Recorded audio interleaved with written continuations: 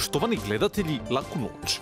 Granice su uvijek bile problem između Hrvatske i Slovenije, e, uvijek nešto, e, mislim, ovaj, e, kako se uvijek nešto dogodi ne znam, no dogodilo se i ovoga puta. Pogledajmo zajedno. Nalazimo se na graničnom prijelazu Macilj na kojem se danas dogodio još jedan u nizu incidenata.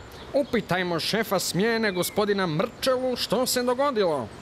Smo se nemalo zaprepasli kad Slovenci počeli vraćati aute s hrvatskim registracijama nazad. Nakon provjere saopćeno nam je da sva vozila koja iz Hrvatske ulaze u Sloveniju moraju imati dodatnu zimsku opremu. A o kojoj vrsti opreme se radi? Pa osim zimskih guba i lanaca, vozači moraju posjedovati 7 kila soli, minimalno dvoje skija, saonce, termofor i fosfor. I što će se sada dogoditi? Ima li kakvih indicija? Kakve su geneze? Ništa se neće dogoditi. Mi se nalazimo u pregovorima sa slovenskom stranom. Naime, nedopustivo je to s fosforom. Neće tako lako hrvatski fosfor prelaziti u ruke slovencima. Ali ako smijem primijetiti, fosfora ima u ribama, a budući da smo mi ribarska zemlja, Ma šta ribe? Kakve ribe? Još ribe da im vozimo. Pa, ko si ti? Ko tebe plaća? Svakog ti radiš? Kako se zoveš? Mile! Jozo, Ivane! Uvatite govno! kao što vidite, drama se nastavlja. Eh, doista nije lako raditi ovaj posao. Laku noć. Pa evo, e, pogledajmo sada vijesti za poslovnjake. E, naš čovjek za sve, pa i za biznis, Branimir Debilić. Dionice su danas stajale jako dobro, a posebno dionice autoputa na kojima nije bilo većih gužvi. Burza je i danas jako živa, kao što i sami vidite, a mi se zaputimo među domaće stručnjake i saznajmo ono što nas zanima. Kako stoji kuna. Dobar dan. Recite mi, pošto kuna? Dve kune. Vidjeli ste i sami. Kuna je dakle i dalje čvrsta, te ste jednu kunu mogli dobiti za svega dvije kune. Stoga naš savjet je pohitajte na plac. Nakon ovih sjajnih vijesti s placa, ovaj, ovaj s burze, e, predahnimo uz poruke naše promidžbenotvornog programa.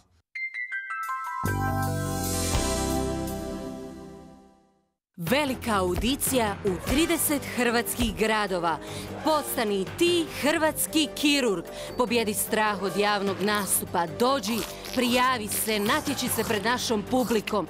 Isprobaj svoje vještine u spavljivanju, rezanju, šivanju, ljepljenju i rašivavanju. Na žiri u kojem sjede jedan plastični kirurg, jedan menadžer i neizbježni vlasnik najmoćnije diskografske kuće izabrat će najbolje među vama. Pobjednik će postati stalni član kirurškog tima klinike Bubreg.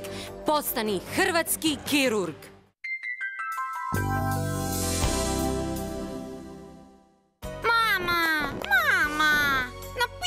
Sam zadaću, mogu li ja sad dobiti malo vilovičke? Možeš, sine.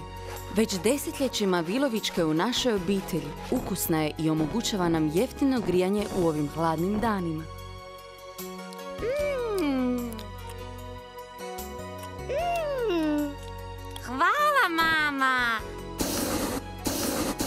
Mogu se sada ići igrati? Možeš. I budi oprezan. Vilović, salame koje griju.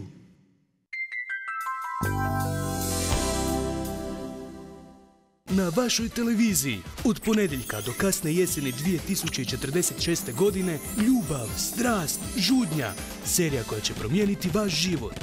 Što se krije iza velike ljubavi Hozea i Marije? U kakvim su odnosima prelijepa Antonija i Hozeov otac Feliciano? Je li majka treće Antonine susjede i nekadašnje prijateljice Roze stigla s drugog planeta? Tko je otac okrutnog psa Johna? Hoće li užasna Feliciana naći plastičnog kirurga koji će njezino lice učiniti ljepšim? Može li se živjeti s 2,5 tisuće kuna? Ima li života prije smrti? To su samo neka od pitanja na koja ćete odgovore tražiti idućih 41 i pol godinu. Ljubav, strast i žudnja od ovog ponedjeljka do zime 2046. Evo nam i vijesti sporta.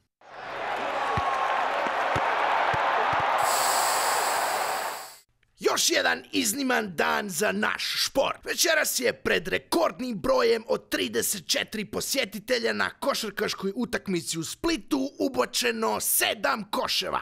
Suša je prekinuta nakon što su tri mjeseca splitski košarkaši svoje utakmice završavali bez goditaka. Košarka se čini se u gradu koji se voli nazvati najsportskim, ponovo vraća na staze slave. Veliki dan za splitski sport. Publika se počela ponovo vraćati na splitske gripe, jer iako je večerašnja utakmica protiv izabrane vrste žitelja zabačenih sela na Biokovu bila prijateljske naravi, u malu dvoranu sportskog centra na, na, na, na gripama došli su čak 34 gledatelja. Domaćini su počeli zabijati koševe. Za, eto, 40 minuta utakmice dali su sedam koševa, što posebno veseli jer već mjesecima na gripama nismo vidjeli nijedan koš domaćina.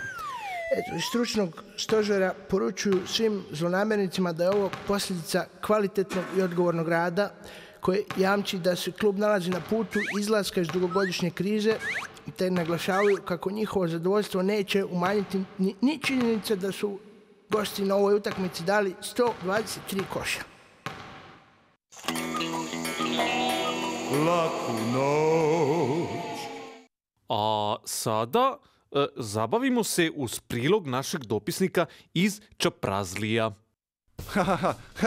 Evo jedan, evo jedan dobar vic da vidi da se vidi ko skida gaće u Europskoj uniji. Evo, ne, evo takmičuje se Englez, Francuz i, i Bosanac. Dobro, Bosanci još nisu u Europskoj uniji, ali nema veze. Znači, takmičuje se Englez, Francuz i Bosanac. a, či- kako im izgledaju žene? I kaže Englez, moja je žena u krevetu prava lavica. Kaže Francuz na to, moja je nježna poput leptira. Ha, kaže njima Bosanac, koji pazite, još nije u Europskoj uniji, kaže, jest ljudi, pa ni ova moja ne liči na čovjeka. Mislim, može to, ne, ne mora se to, to žene da se ljute na to, nema to veze, nema to veze, to, to, to je samo politički jedan vic.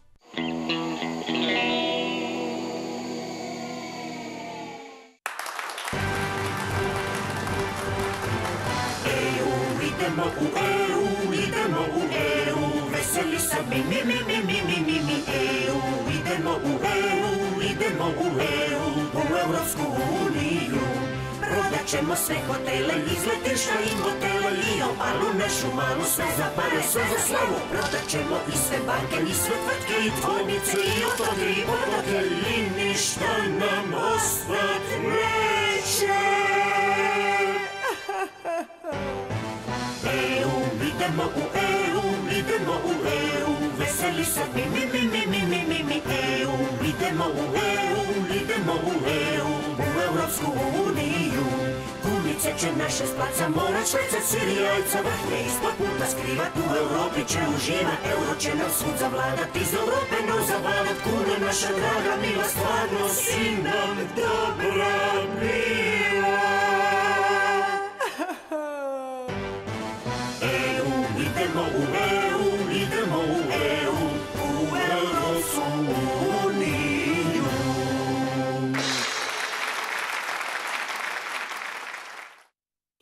E, štovani gledatelji, kao što rekoh na početku, laku noć.